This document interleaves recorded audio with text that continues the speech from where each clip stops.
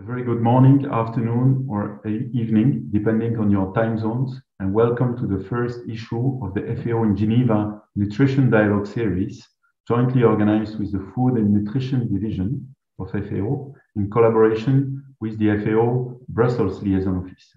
My name is Dominique Burgeon, and I'm the director of the FAO Liaison Office with the UN in Geneva, and I will be moderating today's session. Before starting our event, allow me to share some details regarding the logistics and housekeeping for this virtual session, even if I'm sure that by now you are all experts in that. Uh, this webinar will be in English only with no interpretation. It will be recorded and will later be available on our website, along with the various related resources relevant to this session. It is scheduled to last for about one hour and 15 minutes. Since this is an introduction to our nutrition dialogue series, the high-level launch, uh, we will, Uh, there will be no Q&A session today.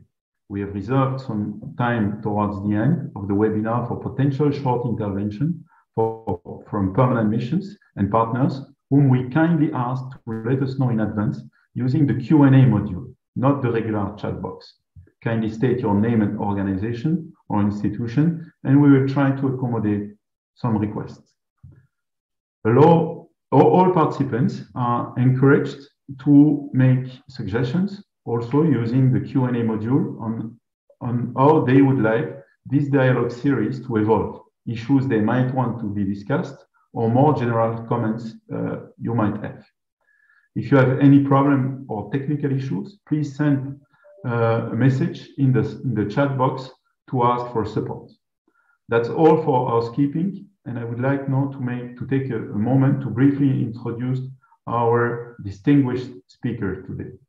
We are honored and pleased to have with us today a number of distinguished speakers whom will convey the perspective of their respective organization on the issue of nutrition and more specifically on how it relates to the transformation of agri-food systems.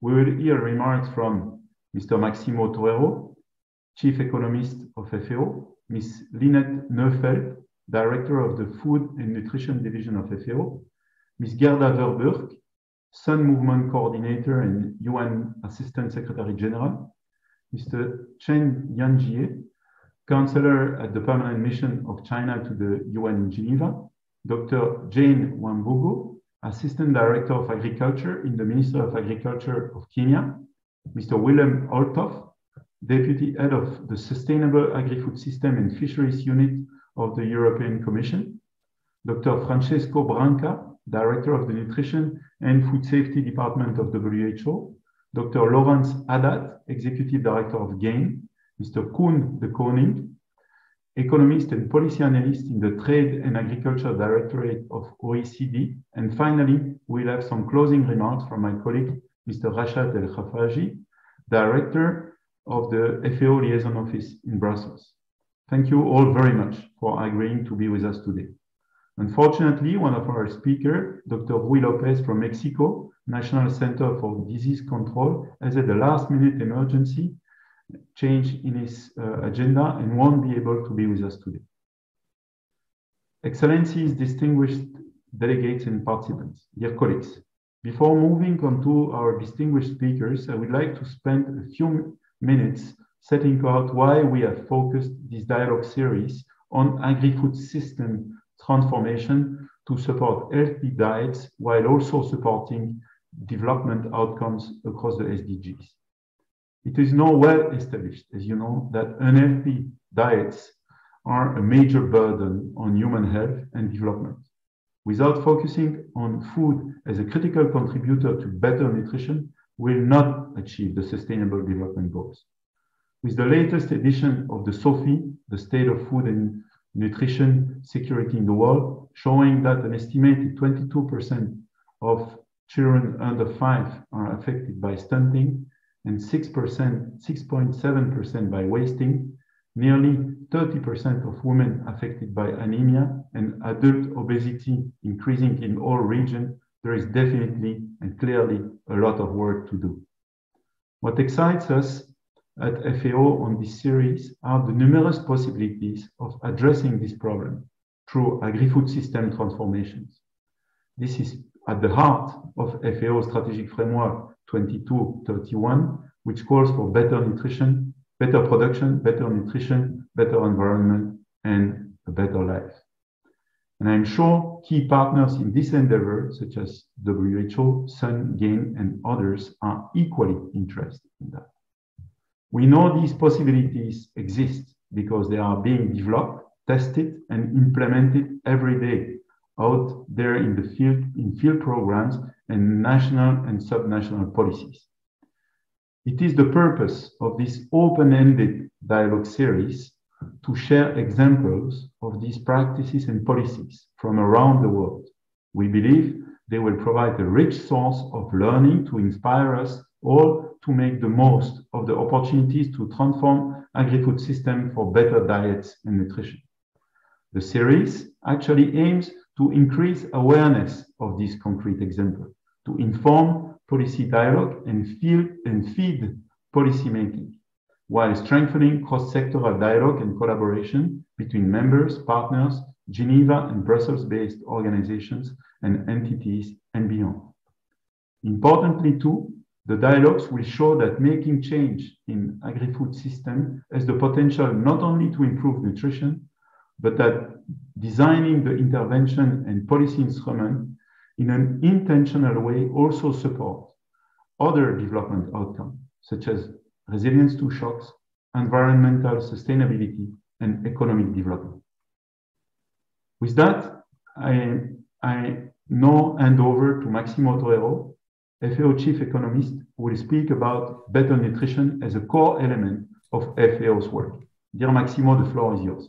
Thank you very much, Dominique, and, and, thank you all for, for being here, excellencies and colleagues. Uh, it's great to see you all again back together in, in this such an important uh, topic uh, for us. So, as we know, the progress to, to meet agreed nutrition goals is insufficient. Today, the world is in a very different place to where it was seven years ago when it committed to the goal of ending hunger, food insecurity, and all forms of malnutrition by 2030. Yet progress towards ensuring access to safe, nutritious, and sufficient food for all people all year around, or to eradicating all forms of malnutrition, has been slow. In fact, today, there is no single country which is on track to meet all global nutrition targets. And the situation is getting even worse because of what we are facing with the war in Ukraine. Close of one in five children less than five years of age are stunted, and estimated 45 million suffer from wasting, both highly concentrated in low and lower middle income countries. At the same time, overweight and obesity are on all the rise in all the regions in the world. And the challenge that we are facing today because of the increasing prices will, of course, deteriorate the quality of the diets of people. Nearly 2.37 billion people did not have access to adequate food in 2020, an increase of 320 million people in just one year. The high cost of healthy diets and persistently high levels of poverty and income inequality, which was growing and has grown substantially during COVID 19. I, I, normally show a graph of sub Saharan Africa and how inequality has increased in, across all countries with very few exceptions is alarming. And this continues to keep healthy diets out of reach for around 3 billion people in 2020.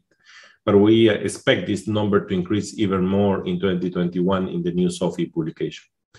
New projections confirm that hunger will not be eradicated by 2030 unless something changes substantially, what we called bold actions. Uh, and this needs to be taken to accelerate the progress, at least to put things on the path and on track and especially actions to address inequality and access in, on, in access to food. Conflict, climate variability, and extremes and economic slowdowns and downturns are the major drivers slowing down the progress, particularly where inequality is high. And as I mentioned before, the COVID 19 pandemic made the pathways towards achieving sustainable development goals even steeper. Eradicating poverty and hunger, the first and the second SDG, and, and for us, SDG 10 also inequalities, are key to and essential for meeting all other goals. And ensuring healthy diets for all is part of our commitment uh, of SDG 1, 2, and 10, and everyone deserves more than just sufficient food for energy needs. Everyone, everywhere deserves a healthy diet that enables them to live healthy and productive life. As development economies, I cannot overemphasize the interlinkages between these goals. Zero hunger and healthy diets for all integrates and links food security, nutrition, and sustainable climate resilient agriculture. To make progress on sustainable development, it is therefore essential to make progress on nutrition. Similarly, achieving this goal will depend on progress across many of the other SDGs, including those aimed at clean water and sanitation, renewable energy, education, and gender equality. The SDGs are indivisible. Now, our agri-food system transformation needs and is required at this point in time, and is a necessary condition for changing current trends and accelerating progress towards the meeting the SDGs and global nutrition goals. Transforming agri-food systems is essential to achieve food security, improve nutrition, and put healthy diets with each for each within each for all. When transformed with greater resilience to major drivers, including those mentioned already, food systems can provide affordable, healthy diets that are sustainable and inclusive and become powerful driving force towards ending hunger, food insecurity, and nutrition in all its forms. We have been working intensively in, in, in the report that we did with other agencies on the repurposing of subsidies and the huge opportunity that we have there to align the incentives towards supporting commodities that will allow us to have the different groups of foods that we need to achieve healthy diets. Nutrition is one of the greatest development opportunities in the world today, but better data and evidence to inform actions, more coherent policies in many sectors, including food and agriculture, health, among others, and increased investments are needed. This Nutrition in Geneva series represents an important opportunity for dialogue to identify and address barriers that are constraining the progress, foster greater collaboration among those working with a common focus on nutrition. Central to that focus is the need to inform coherent action on agri-food system transformation. In recognition of this challenge, nutrition is now core of FAO work. As you know, the new strategic framework of FAO have four better, better production, better nutrition, better environment, and better life, leaving no one behind. And the sequencing has a logic. We need to produce and to produce the diverse sets of foods to be able to have better nutrition. But we also need to be sustainable and to be care of our environment so that we are in a sustainable world. These four betters are the aspiration and organizing principles of FAO work for the coming decade organizing FAO's work in the manner eh, that represents a bold step towards breaking down the silos that have kept the food, agriculture, and nutrition communities working in parallel rather than in synchrony, a factor that has constrained progress in nutrition for too long.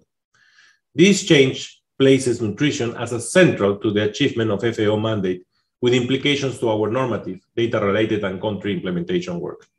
Colleagues, today we observe a food crisis or a potential food crisis because of what is happening in the war in Ukraine. Prices were already up even before the war in Ukraine. But if you look historically, the problem in the 70s was related to starchy foods, to staples, to cereals. If we look to 2007 to 08, again, the problem was related to cereals. If we look at 211, the problem again was related to cereals. And if we look today, we are again showing that our cereal export world structure is still very concentrated and any shock will create a problem. But an interesting question to ask is, is just cereals the problem? We're not looking at more healthy diets. We're not looking at more diverse food and more availability of other food groups, not just cereals. So that opens, I think, a great uh, opportunity on this terrible situation that we are living to start re rethinking what we need to be focusing when we are talking of a more resilient world. If we want a more resilient world, we want to have better access to healthy diets, at least to the least cost ones. And for that, we need to change completely the way of thinking and not only be so concerned that there is a choke in the reduction of cereal production, but also looking at other commodities and trying to see how we can have access across the world to different diversities of food. For sure, cereals are important, but there are other different food groups that are required to be able to achieve healthy diets. The potential power of collaboration cannot be overemphasized. We welcome this dialogue series as an opportunity to share our aspirations, evidence, and experience, hear from members and other organizations on the challenges they face and the progress they have made towards our com comment goal of transforming agri-food systems. We are pleased to see so many here and look forward to a fruitful dialogues And it's a real pleasure to me to see all these friends and colleagues here and all of you so that we can start really moving into action and looking at the big picture because we cannot be deviated by the short shocks or the terrible shocks that we are facing. We need not to change our vision on the need agri-food system transformation, but at the same time, of course, trying to increase the resilience for us so that we can face similar shocks in the future, which I hope won't have, but we know that they could happen in the future. Thank you very much. Back to you, Dominique. Thank you very much, Maximo, for, for, your intervention and for reminding us that better nutrition indeed offers uh, one of the greatest developmental opportunities in the world today, as well as highlighting, of course, the importance of interlinkages, interaction, and trade-offs in our effort to achieve the SDGs, and of course, positioning that in the in the current context and the current situation that we are facing today. Thank you again, Maximo. And uh, I now wish to, to give the floor to Ms. Uh, Lynette uh, Neufeld, the director of FAO's Food and Nutrition Division, will say a few words on FAO's nutrition strategy. Uh, dear Lynette, the floor is yours. Thank you. Thank you.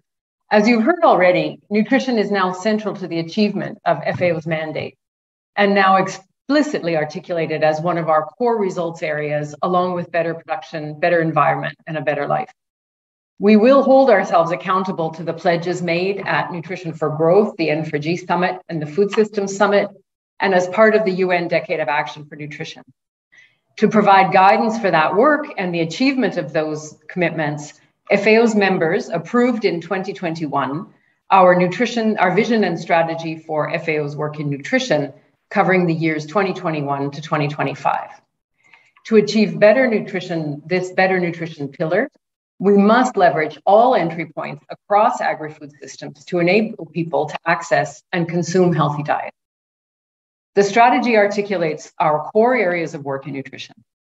Better generation, consolidation, accessibility, and use of data and evidence to identify and inform actions, convening and dialogue to enhance policy coherence and collective action across key areas that are currently constraining progress, and accompanied by action to strengthen capacity and governance, increase concrete and achievable commitments. Through this work, we will bring a nutrition lens to increase the potential of all areas of FAO's work to contribute to healthy diets. In agriculture, working with those who are concerned about soils, in fisheries, in trade, in the climate, and in all of the other areas that uh, um, entail FAO's areas of work. To do this, we collaborate closely with UN agencies, in addition to our internal colleagues within the, the uh, FAO and across all regions. But we work closely with UN agencies and many stakeholders at global, regional, national, and grassroots levels that share our common agenda for accelerating progress to achieving healthy diets for all, with a particular focus of those who live in situations of vulnerability. Without healthy diets, we will not achieve many of the SG, SDG targets or global nutrition targets, as has been mentioned. As Maximo also mentioned, we more than ever need this evidence informed actions across agri food systems because of the urgent needs that are now uh, coming to light in um, result of the COVID situation and the situations of conflict in the Ukraine. Agri-food systems encompass everything from ecosystems inputs to production, processing, transport, storage, food environments, and ultimately consumption and the disposal of food. A plethora of factors influence these systems, including environmental, climate, technology, infrastructure, political and economic, sociocultural, and demographic. Currently, many of these factors do not favor healthy diets, and on the contrary, many work in, in the opposite direction evidenced by the continued increase in the prevalence of overweight and obesity across all regions and the stalled progress to address many forms, most forms of undernutrition. As was mentioned already, 3 billion people cannot afford a healthy diet from modeled estimates. But in many contexts and in many cell groups, uh, particularly those vulnerable to malnutrition, we don't know what people are eating. We do not have that data. And we do not have the data around the unique contextual factors that drive dietary choice in populations. This is woefully scarce across almost all countries in the world and something that FAO is committed to addressing as part of our nutrition strategy. We are also committed, as we mentioned, to identify those entry points that allow um, specific actions to reach populations, strengthening the linkages, for example, between production at local in, uh, context and school feeding programs, where we know both the need uh, for better diets exist and the opportunities exist for linking agriculture, food systems, production, distribution to uh, where those foods are consumed. FAO's work covers most of the drivers that limit nutrition across all of those different contexts. And bringing a nutrition lens to all of these areas of work is urgently needed and a solid commitment at FAO. The many national dialogues and other activities surrounding the UN Food Systems Summit last year brought many of these issues and opportunities to the forefront in a manner unprecedented to date. We have the opportunity now to continue and accelerate that momentum. FAO's food and nutrition team have come together with the Geneva Brussels offer, uh, offices to convene this Nutrition in Geneva dialogue series. Member states and many organizations in both cities are increasingly focusing their action and taking action in agri food systems for healthy diets and nutrition. We are looking forward to hearing about your experiences, the challenges that countries and organizations have faced, and how you have addressed those challenges, and to identify new opportunities for collaboration and coherent actions. We invite you to engage actively in this dialogue series to continue that momentum towards everyone, everywhere, accessing a healthy diet that enables them to live a healthy and productive life. Thank you. Thank you very much, uh, Lynette, uh, for your comments. And again, thank you also for the, the close partnership with your division and, of course, the Brussels office in this uh, series. Uh, thank you also for emphasizing the critical role that more efficient, inclusive, resilient, and sustainable agri-food system will play in enabling healthy diets for all and achieving better nutrition. Uh, I would now like to give the floor to Ms. Gerda Verburg, the Sun Movement Coordinator, UN Assistant Secretary General, uh, will cover the topic of partnership and multi-sector action. Dear Gerda, the floor is yours. Thank you very much, um, uh, Dominique, and thank you very much for the leadership of FAO to organize this very important uh, seminar today. Um, why nutrition? Um, it is important. It's one of the of the priority areas for FAO right now. But many people uh, ask me, and yesterday I was um, still visiting Mali, and I closed uh, my visit with a meeting with the prime minister, and the prime minister asked me, why should we invest in nutrition? And I explained to him that an investment in nutrition is an investment in healthy people, but also in smart people, because the right nutrition, uh, nutrition is, um, is, is treating the body well and is uh, developing and maintaining and supporting the cognitive development. Without good nutrition, you get malnourished people, stunted uh, children, and stunted and malnourished uh, people will create a malnourished economy for uh, decades. Um, and very often in countries, it, the cost of hunger and malnutrition is between 5 and 15% loss of GDP. Now turn it around and think about the financial business case or the economic business case, and you can see that investing in good nutrition and preventing all forms of malnutrition will speed up the uh, GDP, the growth, the socioeconomic development of a country with uh, uh, 10 till 15 uh, percent. And it creates prosperity and uh, peace and stability. So that is why um, uh, nutrition. Why is partnerships important? Are partnerships important?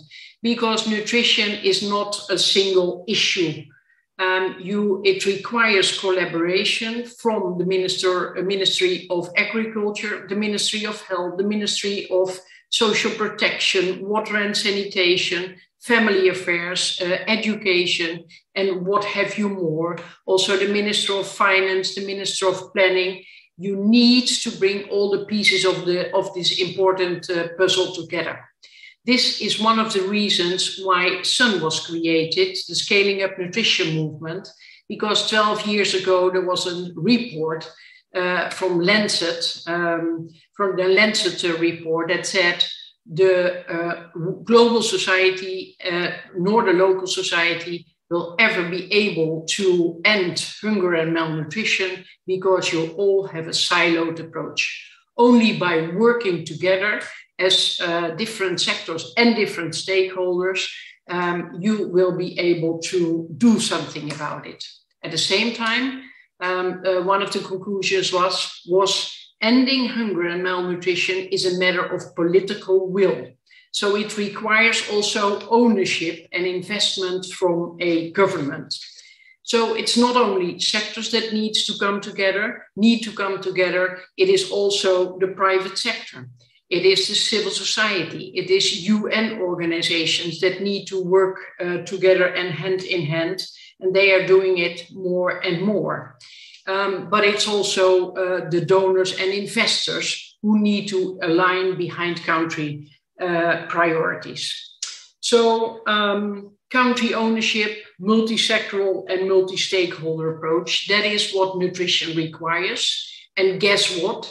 This is also what investment in uh, nutritious food systems and nutritious agri-food systems require. Multi-sectoral approach and multi-stakeholder collaboration to implement and scale up.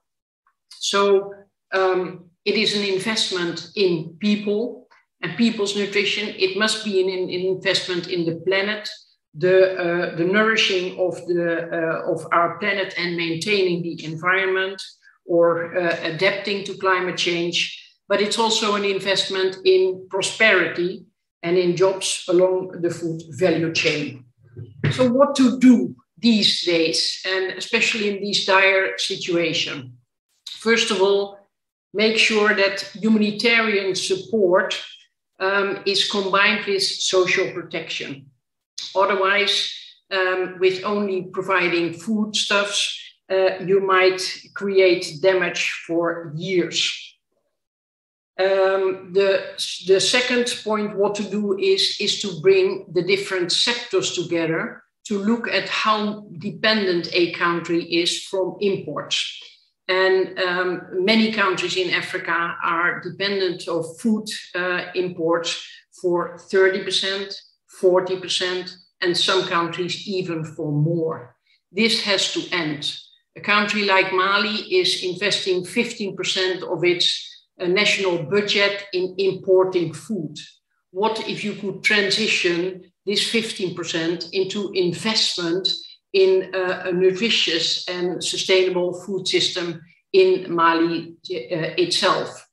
And the different stakeholders, the private sector, the farmers, the consumers organizations and civil society told me, we stand ready to sit with the government, but then we need to be able to discuss what are the requirements, what is the framework, and why, uh, how can we uh, transform the over subsidizing of imported foods so that we, as food producers in Mali, uh, in the country itself, are able to produce in a competitive way and the consumers don't need to pay a price that is too high.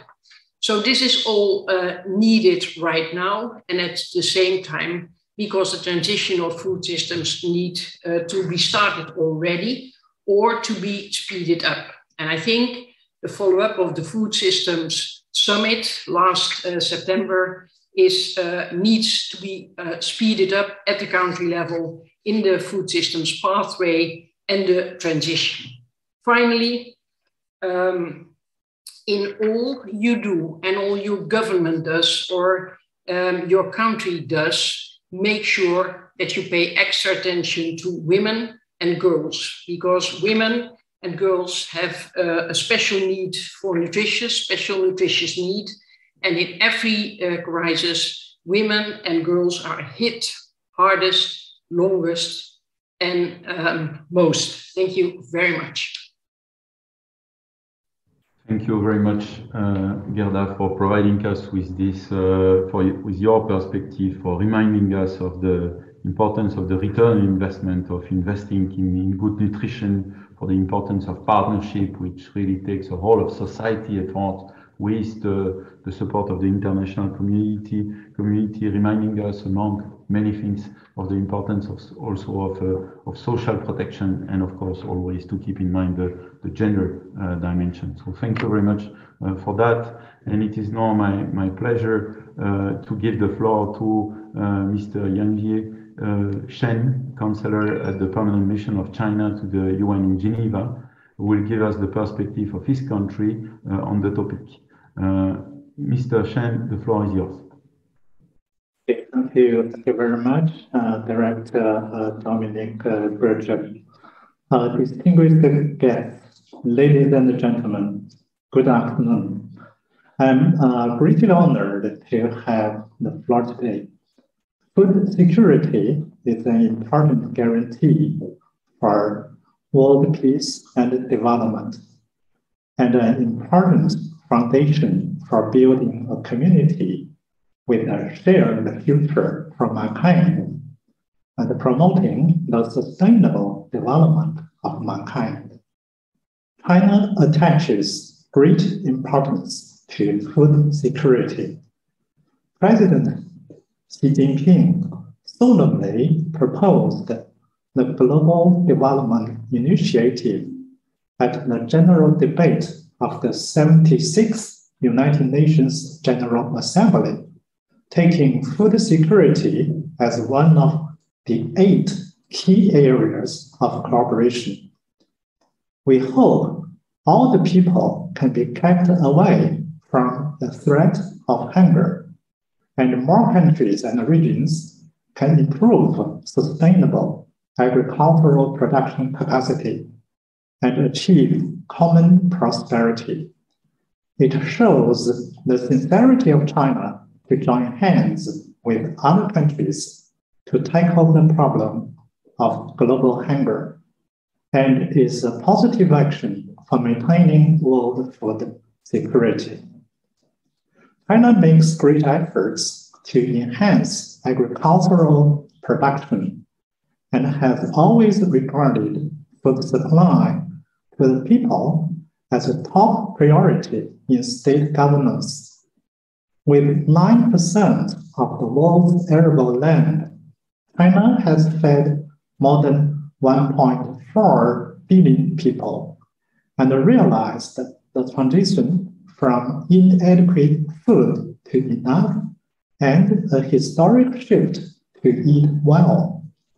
Over the years, China has carried out agricultural cooperation with countries and regions in need and promoted technologies and experiences in grain production, processing, warehousing, logistics, and trade, especially in the process of jointly building the Belt and Road. China and the countries along the Belt and Road have actively carried out cooperation in the field of food. Chinese researchers have trained more than 14,000 professionals from relevant countries on hybrid rice through international training courses. China's food security is inseparable from the world, and the world's food security also needs China. We have created the miracle of self-sufficiency on food and are willing to actively participate in the governance of world food security.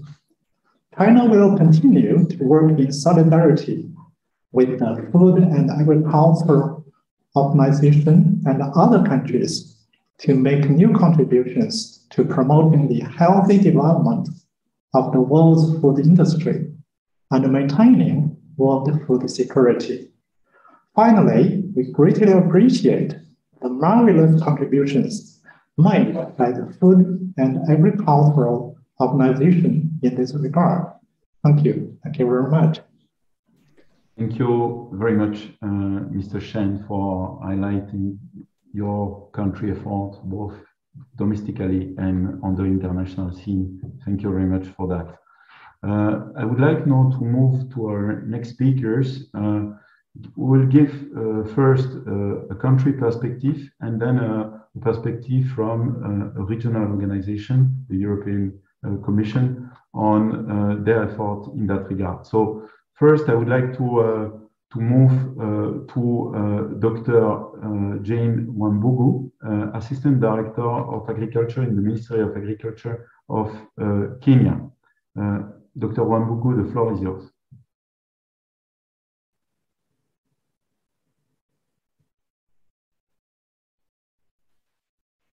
Thank you. And thank you uh, for this invitation. My name is Jane Wambugu. I'm a Deputy Director in Agriculture and I head Agriculture and Nutrition Unit in the Kenya Government Ministry of Agriculture Department. I will share with you the role I've played to champion the agenda of transforming agri-food system to deliver on the healthy diets in Kenya.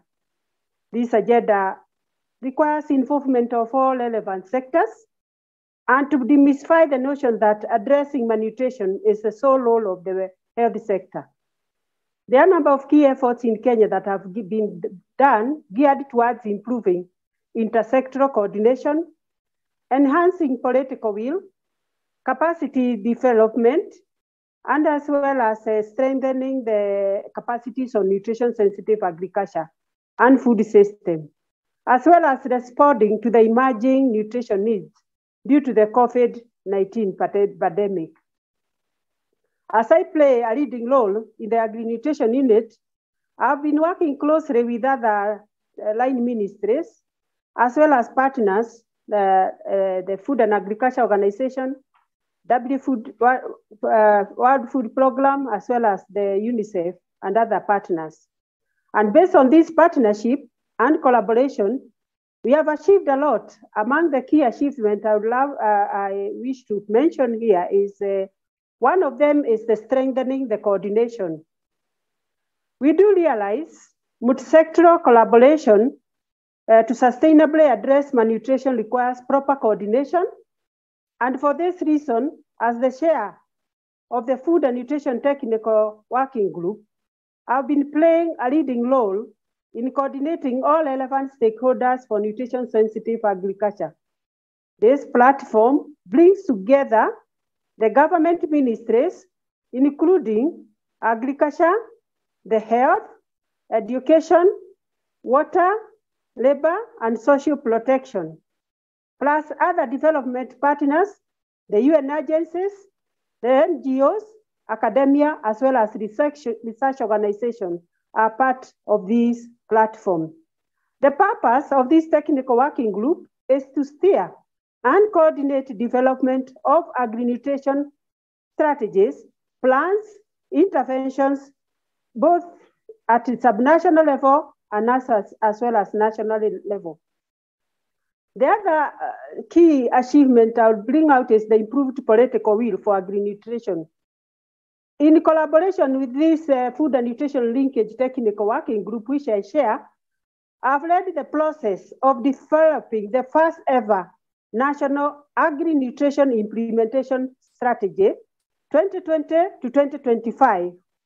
This offers uh, practical guidance on strategic intervention for decision makers at national and subnational level for implementing agri-nutrition programs. The strategy is endorsed by the Minister for Agriculture and as well as the Principal Secretary for the State Department for Crop Development and Agricultural Research. The strategy accelerates key resource area number 10 of the Kenya Nutrition Action Plan, the guiding document for nutrition in the country. And it commits to scale up nutrition in agriculture and food system as a sustainable measure for alleviating malnutrition. The other area that we have worked on is capacity strengthening. While the agri-nutrition implementation offers a guidance to as, uh, as an entry point for nutrition improvement through agriculture, I realize stakeholders require a in-depth capacity strengthening using well-contextualized technical materials. Through the FAO technical support and collaborative efforts with the partners, we are in an advanced stage of finalizing a standardized training package for nutrition sensitive agriculture and food system for the country Kenya. The package has been unleashed with over 30 case studies from 25 partners who are implementing nutrition sensitive agriculture projects in the country. It has been used to train directors and technical staff in the agriculture and health from 26 out of the 47 subnational governments. These efforts have yielded immediate results, and many subnational governments have requested for support or are in the process of domesticating the national strategy to meet the subnational needs. There are a number of other successes, but I wish to mention one of them, having been the 1 million kitchen garden initiative, which was uh, in response to the COVID-19 pandemic. It aims, to, uh, it aims to address the sustainability of food production by empowering farmers in urban and peri-urban areas to produce nutritious food. Through my leadership and practical examples, we have used practical and media, media to demonstrate on establishment of water and space efficient kitchen garden technologies. That this is ongoing and uh, the, the, we have also strengthened the capacities of household. So far, we have reached 233,000 households who have established kitchen garden. Ladies and gentlemen, I'm grateful to the partners who have been very instrumental in driving these achievements. As a country, we are still a long way to go to scale up ongoing efforts. And now I call on, uh, more upon our global partners to support in resources and in investment in this noble initiative that we are undertaking. Thank you very much for the time and the opportunity to present what our country, Kenya, and what we are doing to add agri-food system for transforming and, and for transforming them to healthy diet for the country. Thank you very much. Thank you so much, uh, Dr. Wambugu, for indeed highlighting how political will can lead to strengthening uh, multi-sectoral coordination and, co and coordination through the Food and Nutrition Technical Working Group. All this for uh, nutrition-sensitive agriculture, leading to strategic planning, and then highlighting the very concrete action through the, the 1 uh, million kitchen garden uh, initiative uh, that you have highlighted. Thank you so much. And I'm now uh, very pleased to give the floor uh, to uh, Mr. Uh, Willem Olthof, the Deputy Head of Unit of the Sustainable Agriculture, Agri-Food Systems and Fisheries Unit of the European Commission. Uh, dear Wim, the floor is yours. Many thanks, Dominique, and many thanks as well for taking this initiative. Uh, I think it's timely, it's relevant, and you're uh, uh, in in the best position to to do this and bring many of the actors around nutrition, food, and uh, agriculture together. Um, it's also timely because um, we know that the war in Ukraine le leads to, to dramatic situations in the world and, and an increase in global food insecurity and malnutrition. And um, this will no doubt lead to, to lots of um, uh, additional interventions and initial uh, additional initiatives. And uh, I just would like to mention uh, two initiatives that the uh, European Commission has taken recently. Um, one uh, around the crisis in the Sahel and one uh, in the Horn of Africa that actually happened yesterday. And in both of these events, uh, we work hand in hand um, uh, with humanitarian and development actors and um, um, have led these, both of them have led to, to increased pledges to, um, to address food insecurity, but also the nutritional elements in it. Um, now, although we have uh, really short-term pressing needs, we should also not lose sight of the longer-term objectives that we have. And um, in the longer term, what um, we would like to see, and I think uh, here we, we, we have a very uh, strong common agenda, is that our food systems in the world become more resilient more sustainable and that we see also the, the problems of healthy diets and nutrition within such a food systems perspective. Within the EU, um, we have taken on the farm to fork strategy and, and started its implementation. And this farm to fork strategy provi provides a really powerful policy framework in support of this urgent transition to healthy and sustainable food systems not only in Europe, we think that that much of the vision that comes out of it is relevant beyond uh, the EU. What this uh, strategy also clearly illustrates is that uh, the financial resources and putting finances on it is not enough.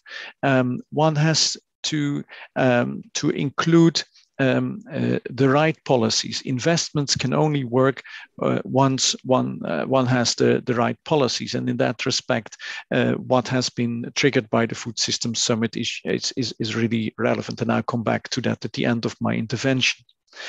So systems thinking is important. Um, that means that, that our sector policies needs to be framed within such systems thinking, that food systems um, tackle more issues. They tackle issues around inequities, uh, around climate change, about natural resource management, um, and that all in combination with diets and better nutritional outcomes. Important is and remains agriculture. And the way agriculture is being um, is, is being uh, handled and and um, and, and produced. Um, and uh, others have said before before me so I won't dwell that the nutrition sensitive element of, of agriculture is a key uh, element in this. That that implies that one has to think about how it enhances biodiversity, for instance, uh, but also um, the diversification of production. And in that respect, uh, from, from our perspective, agroecological practices are important, adapted to local context, respectful of the environment, and um, an important means to uh, stimulate local production uh, and, and, and varied uh, diets. We also recognize that uh, in, in many respects, more attention can be given uh, in this diversification to, for instance, different sources, plant proteins, but also proteins coming from small livestock, from, from blue food production, particularly. Um, so there is, there is a, a huge diversification agenda ahead of us. Um, but we cannot only think about uh, production, uh, we also should think about the role of the consumers and consumer choice. And in that respect, one can also think of many different policy directions. Uh, many of which are again part and parcel of the EU uh, uh, uh, farm to fork strategy. So uh, examples around public procurement, public food procurement, uh, about how to engage the uh, the private sector and to to stim to unlock their financing. Um, but also in restricting the advertising and marketing uh, of, of uh, particular type of foods and the beverages, for instance, those high in saturated and trans fats, in sugars and in, in, in salt um, and, and to use fiscal incentives uh, around their use, uh, but also um, elements about nutrition labeling, etc., and um, advertising co communication and, and, and more of those uh, measures. So, in a nutshell, um, what we have identified in the EU farm to fork strategy, uh, but also more broadly, is, is a set, a range of instruments um, that, we, that can allow consumers to have a, a, a, bigger impact on the way food is produced um, and, uh, and marketed. Um, so I said that at the end of my intervention, I wanted to come back to the UN Food Systems Summit, but also at the, the Nutrition for Growth Summit. Um, in at the UN Food Systems Summit, uh, many valuable uh, initiatives have been taken. And um, we are in, in, in a year of follow up, and, uh, and, and we recognize as well that FAO has, a, has an important role with hosting the hub. Um, and um, we need to see the translation of many of these um, these initiatives in the national pathways, but also in the in the in the global coalitions. Um, so as as EU, we stand ready to to support many countries in in the implementation of their national pathways, uh, working as well in a number of global coalitions, and uh, we are particularly active in in eight coalitions, and uh, that includes uh, the coalition on healthy diets. It includes a coalition on zero hunger. It includes a coalition on school meals. So we have uh, quite a number of entry points on the nutrition side. We would also like to recall that um, at the Nutrition for Growth Summit, uh, the uh, EU and its member states pledged more than 4 billion euros for the next couple of years to work on nutrition, of which 2.5 billion came from the uh, European institutions. Um, that uh, summit was only uh, four months uh, ago, and it seems uh, like like uh, a life has has uh, it's it's it's a lifetime ago now. But we are um, really following actively in in the follow up to this pledge. We're working very closely with our delegations. We have an excellent um, advisory service that um, that translates many of the initiatives and the principles into very concrete projects and programs.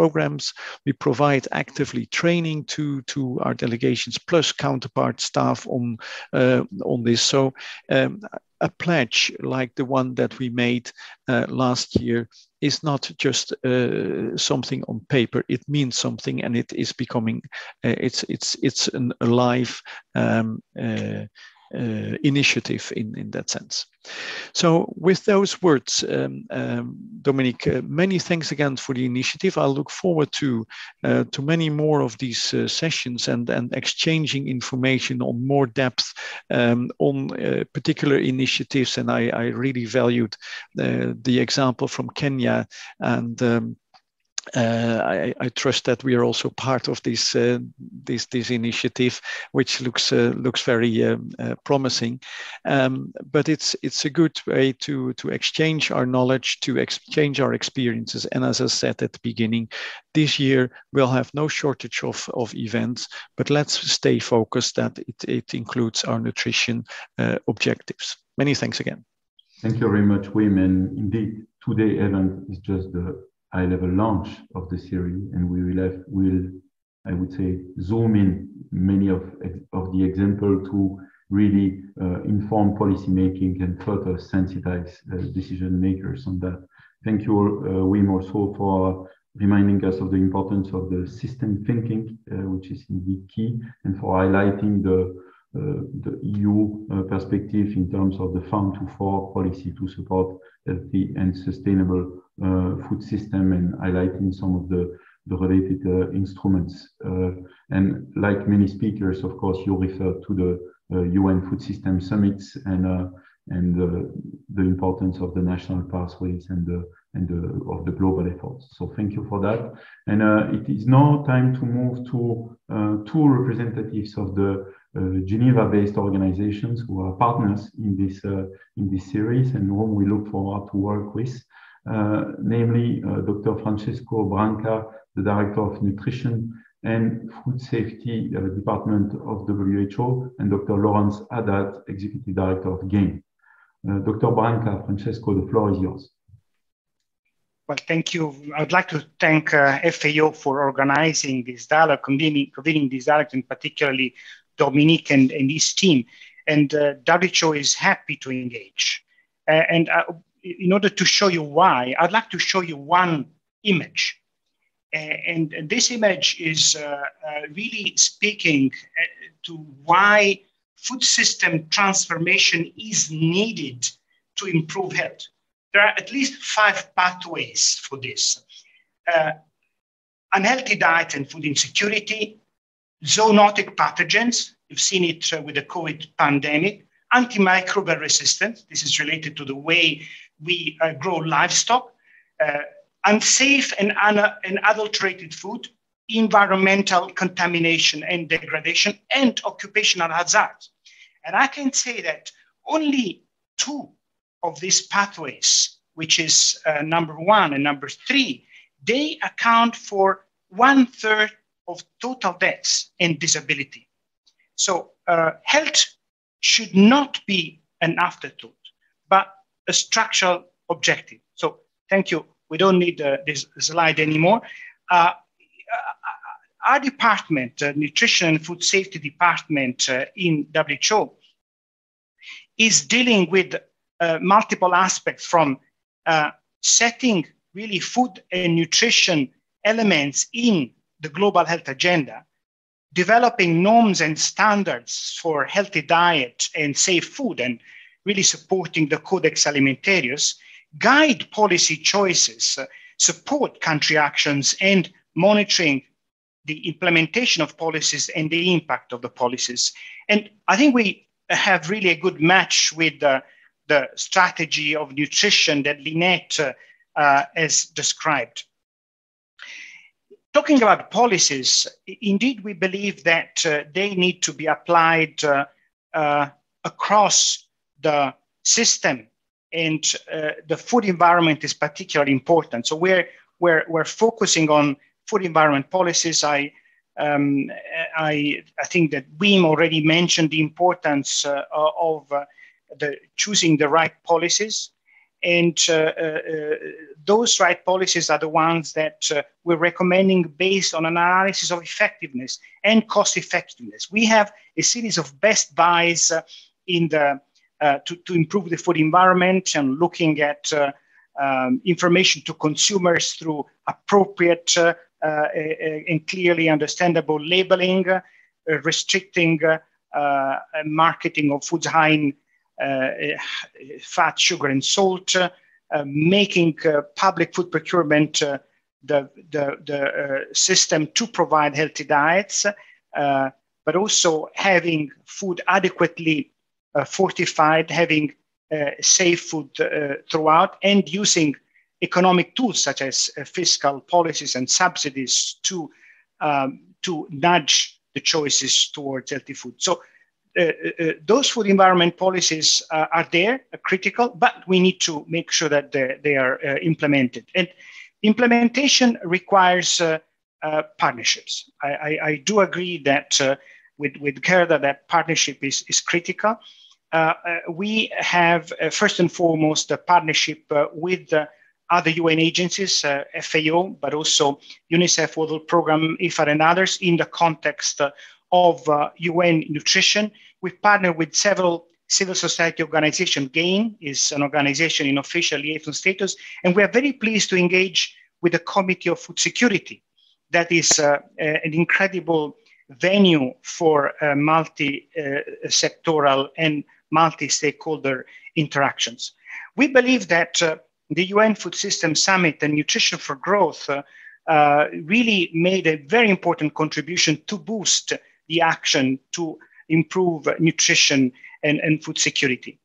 Uh, we ourselves are going to promote more partnership and, and uh, together with FAO and UN Nutrition, we are hosting and, and promoting the Healthy uh, Diet Coalition. WHO is, is keen uh, to uh, sustain the implementation of the UN Food System Summit. we're contributing to the uh, hub with, our, with our time, with our staff, with our engagement.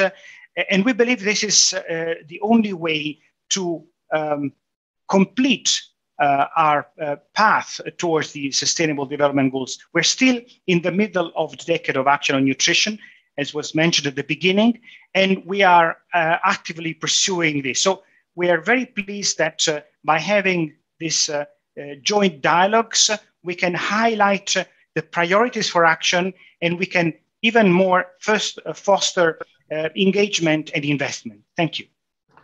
Thank you very much, Francesco, for your for your comments, for your support to the approach, and for, of course, reminding of the importance of the focus on uh, food environment policies, their implementation, and the required partnerships, uh, referring uh, in particular also to the role of UN Nutrition and even the, the CFS, the Committee on World Food Security.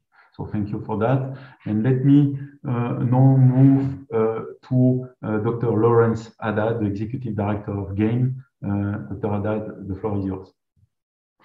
Thank you, Dominique. And um, again, let me extend my thanks to FAO for organizing this session, for inviting us at GAIN, and uh, big thanks to Dominique and his team for organizing this. Um, so GAIN is the Global Alliance for Improved Nutrition. We're an uh, international NGO. We have offices in 15 different countries. And we, we do two things. We connect uh, food systems with, nutri- with nutrition. There are lots of people who worry about food systems but don't worry about nutrition. And actually, there are a lot of people who worry about nutrition but don't worry about food systems. So we try to connect those two communities. We also try to connect the public sector with the private sector. Uh, governments have to be in the lead in terms of setting goals and strategies and norms and standards and enforcing those. But the private sector is a big part of the food system, whether it's farmers themselves, processors, um, traders, um, uh, supermarkets, wet markets, um, haulage, advertising, storage, refrigeration, you name it. Uh, the private sector is fully embedded in the food system and, and it's an important partner. So we try and do that. We try and we do that through, we do those connections through programs, through policy and through research. The programs uh, help us achieve direct impact to people who are malnourished. Uh, and they give us an insight into the policy uh, space that's holding back programs like ours and programs uh, that others uh, run.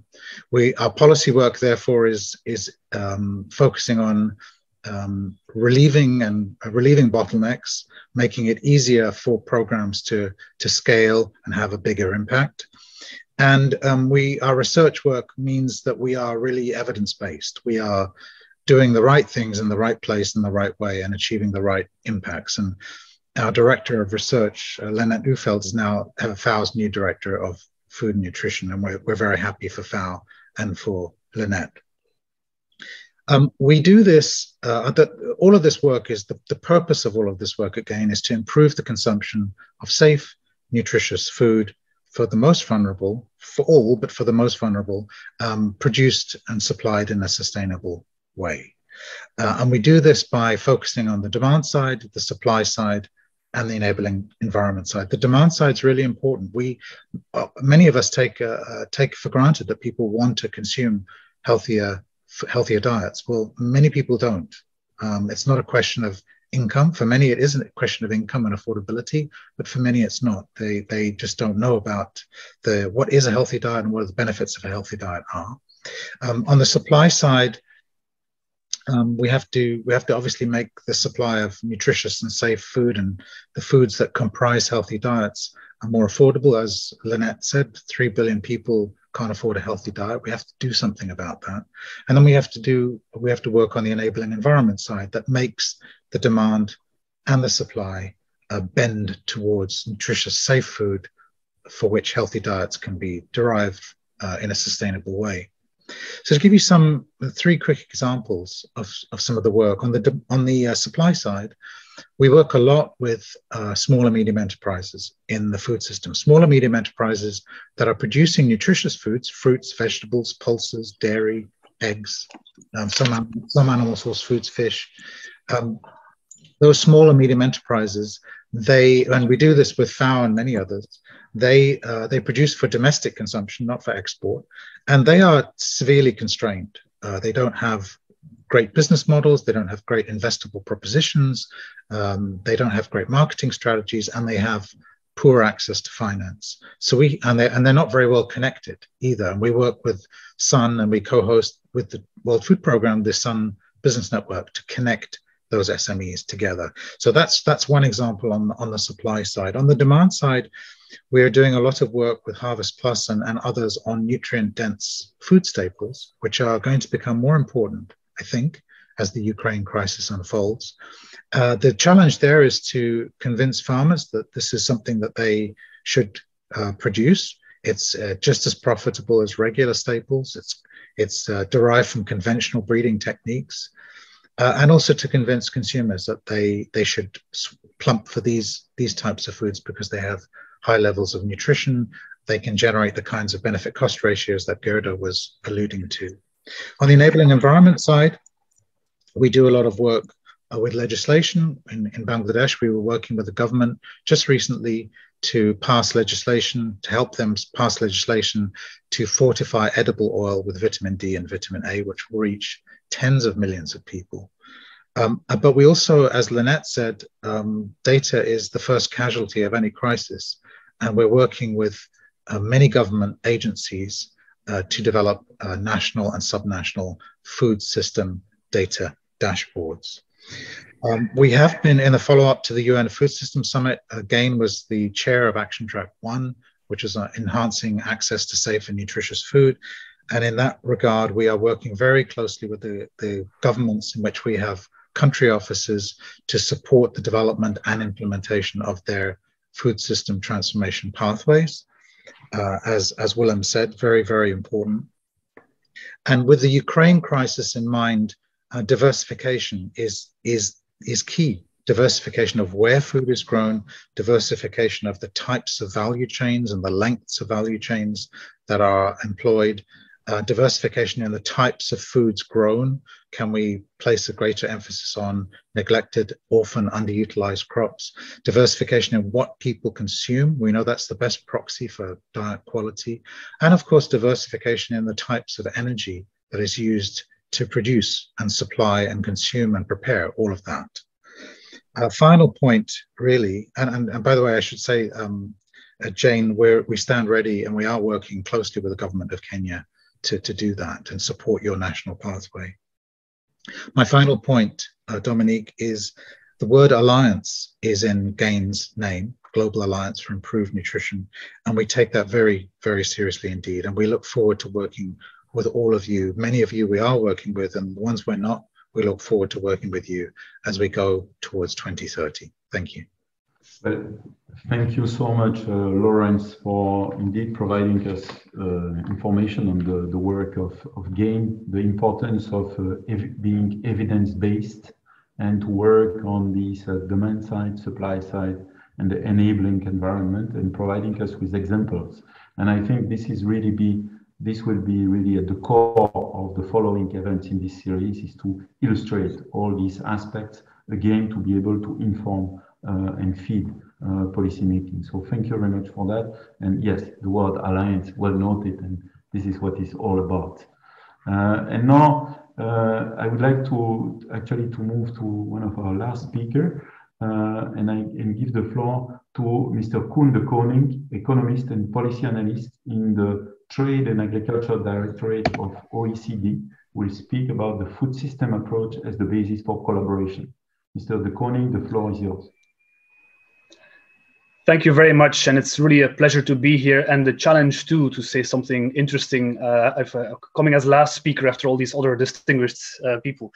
Um, so I, I'm, I'm here to share some insights, I hope, uh, on this very important topic of nutrition. And in the OECD, we released a major report on food systems. Our very first report on the concept of food systems actually last year.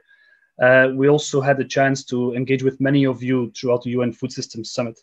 And a lot of our focus on food systems was around this idea of synergies and trade offs. And as Lawrence mentioned just now, people often tend to think of things in isolation, but it is really important to look at it from a systemic point of view, to look at all the interactions that happen. But that raises the question how do you come up with coherent policies? Right? How do you come up with policies that will actually reinforce each other, whether it's on environment, on livelihoods, on gender, and of course on nutrition, rather than as has historically been the case, uh, where you had the agriculture ministry doing one thing, the environment ministry doing something else, uh, the nutrition people doing yet something else. So, how do you actually do that? And we spend some time thinking and arguing about that in our report. And so, the first big lesson for us is the importance of overcoming these silos and of at least realizing that there are many possible synergies and trade offs. And it is a complex system. Uh, historically, people were not even aware of that. Fortunately, that is changing now. But we do need to put even more effort to make sure that people talk over the fence, that uh, the, the, ministries of agriculture, public health, environment, etc., that all the different policymakers actually do have a chance to get to know each other, to talk about these things, and to form a common view on these things. So that is a really a first precondition to have policies that reinforce each other across all these different dimensions rather than counteracting as has often happened in the past. But a second important caveat there is that we need to be rigorous too. And this is a point that some of the other speakers have mentioned, Lynnette Neufeld in particular, when she mentioned the importance of data. Uh, because quite often what you see in debates on food systems when people talk about synergies and trade-offs is that we often use ideas or assumptions and those may not always be correct. So to give you just one example in high income countries people often would say that agricultural subsidies contribute to obesity because they make food artificially cheap and therefore people eat too much. And it turns out that the evidence doesn't support that in many countries, agricultural policies are actually not subsidies, they are protectionist import barriers, and they often raise the price of food in many of these countries. And so that link between agricultural policies and obesity is not as obvious as people often think it is, in rich countries at least. So while there are very good reasons to reform agricultural policies, fighting obesity in high income countries is maybe not the most important factor. So it is important, as this example underscores, to be rigorous. And that in turn means we need better data, we need better evidence, as, as Lawrence Haddad also underscored. And a third point, which builds on that, on that one, is we need to dive when we are thinking about coherent policies, we need to go into the specifics of specific policy instruments. Sometimes you will hear people argue whether or not there are synergies or trade offs between, for example, farmer livelihoods and the environment. But when we ask the question at such a broad level, that is not the most interesting level. Uh, let me give you an example to illustrate. Imagine if a country is using fertilizer subsidies to provide income support to farmers. In that case, it is likely that the farmer will end up using maybe more fertilizer than is needed, which in turn can create environmental problems. So, in that specific example, there is a trade off or a tension between helping the farmer and helping the environment. But it is also clear that that is just an artifact of that one specific choice of policy instrument. And we can easily imagine other policy instruments that would have a much better profile. For example, we could pay the farmer for ecosystem services. And in that case, we might actually turn a trade off into a synergy. So the question of whether there is a trade off or a synergy, it's not an abstract philosophical question. We really have to analyze this for specific policy instruments. Now, what do you do then when there are synergies and trade-offs? Uh, of course, everybody loves a synergy. Everybody loves a win-win situation. But we do have to keep in mind that the perfect policy does not exist. And we should not let the perfect be the enemy of the good. In reality, you will probably need a mix of different policy instruments. And there were great examples here from Dr. Wambugu and, and Mr. Olthof on the, the wide range of different instruments that policymakers are thinking about. And that is very important. It, it also means that if we are trying to achieve many food systems goals at once, and we have one intervention that, for example, does a great job at improving nutrition, but does not really move the needle much in terms of, for example, livelihoods or gender issues, that does not make it a bad instrument. We can think of other instruments to achieve those other goals. And so we, we have to think in terms of a mix of instruments that together achieve our food systems goals, rather than trying to find the one perfect intervention.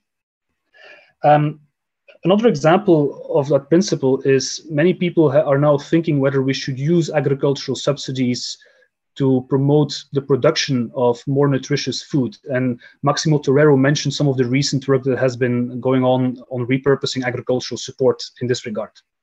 And there, is, there are some studies that suggest that you could indeed uh, use agricultural subsidies uh, to incentivize production of more nutritious foods. But the question is, is that really the best instrument?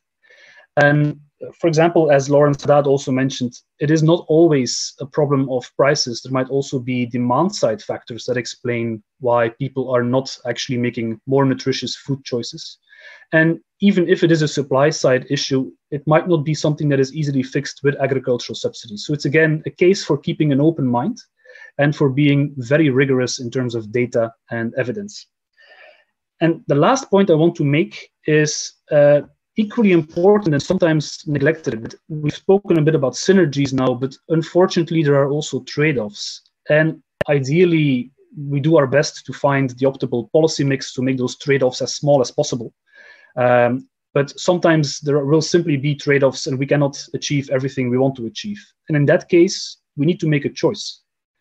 And how do we think about those choices? Those are not simply things for scientists or people in international organizations, policy analysts like myself. We cannot make those decisions. We can provide the best possible evidence. But then in the end, if there is a choice, that has to be a societal choice, and that will depend on value judgments. And so I'll just uh, leave it at that, at emphasizing the importance of having democratic debate about these things. Thank you. Thank you very much, Mr. Deconinck, for this uh, very thoughtful intervention indeed, and for indeed highlighting the importance of synergies and trade-off uh, that need to be, uh, and decision-making that need to be uh, evidence-based, and the importance, again, of system approach to develop coherent and specific policies. So thank you very much uh, for that. Uh, I wish to note that there has been really a rich engagement in the, the Q&A module as well as in the chat box. Really gives us, uh, it's a big encouragement for us to continue with this series. The, the speakers have also uh, us so many uh, directions we will need to, to further explore in, uh, in the future events under this series. So I think this has been uh, extremely valuable from our perspective to, to have this engagement in writing as well as in the context, of course, of the high-level speakers' uh, remarks. And now we are almost at the end of our webinar, and I'm now very pleased to give the floor to my colleague, Mr. Rashad Al-Khafaji, uh, Director of the FAO Liaison Office in Brussels, uh, who will deliver some uh, closing remarks. Rashad, the floor is yours. Thank you very much. Thank you, Dominique. The FAO liaison office here in Brussels is obviously delighted to be partnering in this uh, important dialogue series to support the process of learning on this critical topic. Today, we've listened to valuable contributions, uh, which tied together many threads of our discussion and gave us a lot to think about. What an excellent opportunity to certainly work together, learn together, and also contribute together. Ladies and gentlemen, dear colleagues and friends, the promise of agri-food system transformation requires regional, national, and local champions. What we heard today from Kenya and the European Commission shows that we have champions working on enacting change. Thank you for sharing your views and experiences with us today. The OECD's analysis made it very clear. It is not just about nutrition, but about the whole development agenda. This is something which will be featured throughout this series of dialogues. We certainly look forward to seeing you again over the next few months as we highlight specific practices and policies directly from the field, including food based dietary guidelines, urban strategies, and food safety. Enabling healthy diets and achieving better nutrition for all is a challenge that no one single organization or institution can resolve. And there is no one size fits all solution to deal with the complexity of this task and its sustainable implementation. This is why partnerships such as the ones we have in the framework of this series, launched today, with WHO, SUN, GAIN, and many others, are key in this endeavor. Success also relies heavily on the engagement and political will at country level, where the key outcomes are needed. We will continue supporting the rollout of the FAO and Geneva Nutrition Dialogue series. FAO is keen to offer platforms such as this one to discuss and share information on the good work done by countries and partners in the field. These lessons and experiences are fundamental to build a new narrative on nutrition, putting partnerships at country and local levels at the center of our action. Let me reiterate that this is just the beginning for the Nutrition Dialogue series. In the coming sessions, we will explore in depth the various facets of this issue and discover successful examples of important work in the field. We will share FAO's experience and provide our partners with opportunities to share theirs. Keeping the main focus on concrete cases from the field, some of the topics we are envisioning for future sessions include food-based dietary guidelines, urban strategies, food safety, healthy diets in small island developing states, and others. I strongly encourage our partners to be active participants in this endeavor. And we look forward to receiving suggestions from you on topics to be covered and important field work to be featured. Together, we need to increasingly bring nutrition into policy development and inform high level decisions in Geneva, Brussels, and beyond. The next webinar in this series will take place on Wednesday, the 18th of May. It will show how intervening in food systems can address the problem of acute malnutrition among children, while also supporting livelihoods in Africa's drylands and will draw from important fieldwork in Kenya. Until then, I wish you a very productive reflection, hopefully also stimulated by today's proceedings. Thank you very much, and over to you, Dominique. Well, thank you very much, uh, Rashad, for these very encouraging and uplifting words. Uh, dear participants, uh, dear concludes, this concludes our webinar today.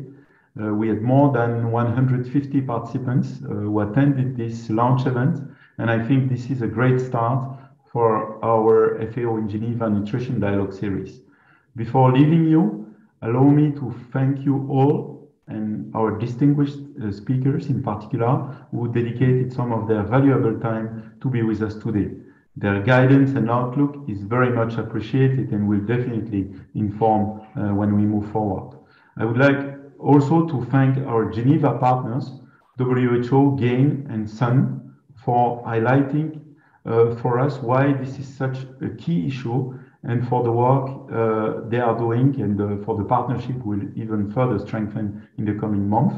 A big thank also uh, to Maximo, Lynnette, and Rashad for their participation, and to colleagues in the FAO uh, Food and Nutrition Division, and the Brussels and Geneva uh, Liaison Office for organizing this webinar. Last, last but not least, our gratitude goes to you, participants, for taking time and joining this launch event for the of the FAO in Geneva uh, Nutrition Dialogues uh, series. Uh, I thank you all and look forward to engaging with you in the near future. Thank you. And thank you, Dominique Bye. and uh, Rashad and team for taking this uh, very important initiative. Thank, thank you. you. Bye-bye. Goodbye. Bye. Bye. Bye to all. Bye-bye. Bye-bye.